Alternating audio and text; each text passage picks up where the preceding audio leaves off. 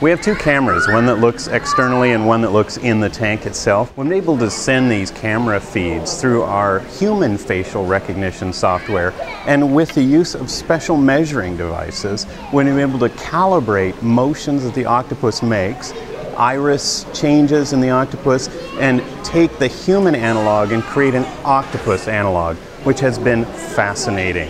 It's allowed us to take what the octopus thinks, feels, and is articulating through body movements. Where we use our faces to express things, the octopus uses all of its limbs. What this allows us to do is actually start to put together a grammar of octopus language. And unlike us, we use our hands, we use our face, we use our talk. The octopus uses its entire body, as Mark said, to communicate very complex ideas that we had no idea it was trying to communicate before. Hey, Give me the child.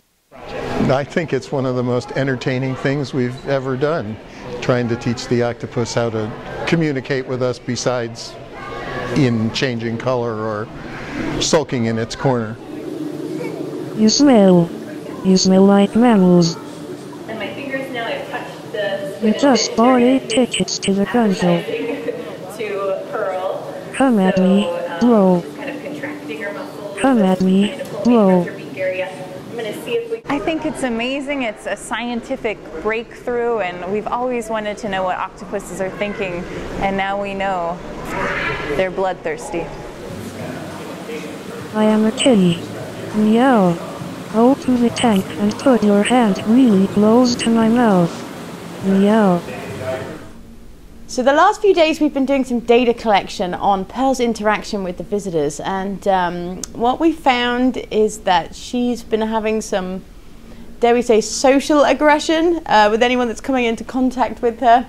Um, some of the aquarists can believe that it's because they're territorial creatures, they're not very good with the visitors kind of coming into her space. So she's uh, kind of trying to repel the visitors as they come through. So we're just looking at Harrison here interacting with Pearl. How many fingers, Pearl? Are you sure you wanna ride this train? How many fingers, Pearl? I will choke all the human out of you. Pearl? Could you repeat that?